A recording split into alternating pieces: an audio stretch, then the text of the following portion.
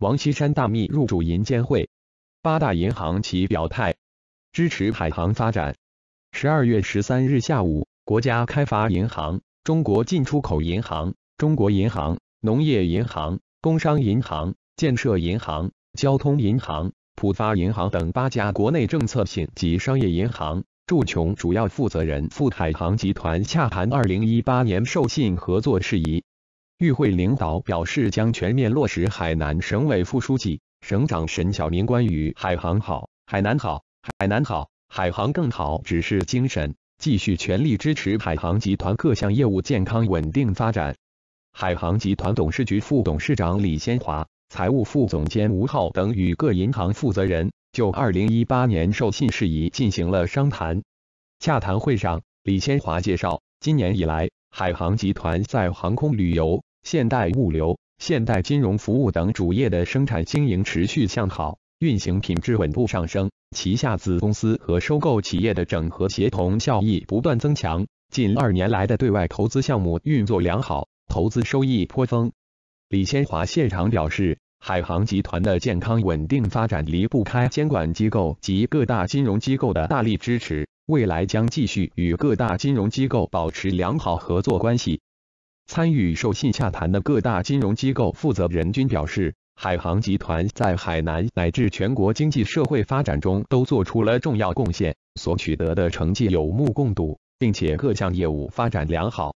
作为海航集团的战略合作伙伴，多年以来一直与海航集团保持着密切良好的合作。海航是各银行最优质的客户，给予海航集团新的授信也是促进银行发展的需要。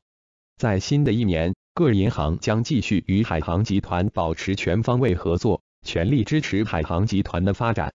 海航集团的发展也得到了各地政府的认可和大力支持。十一月二十九日，海南省委副书记、省长沈晓明到海航集团调研，强调海航好、海南好、海南好、海航更好，充分肯定了海航在海南发展中做出的贡献及成就。此前，天津市。舟山市等地方政府领导带队前往海航集团调研，并达成战略合作或意向。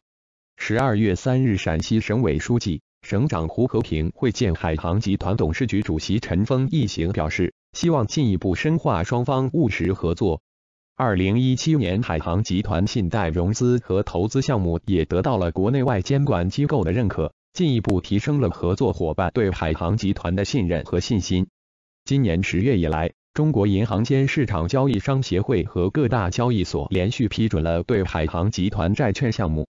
十一月，海航集团及旗下子公司两个融资项目分别通过英国金融行为市场监管局和爱尔兰中央银行的审核。据了解，今年国家开发银行、建设银行、信达资产、光大集团、华夏银行和山西省农信社等金融机构。与海航集团达成战略合作及增加授信额度。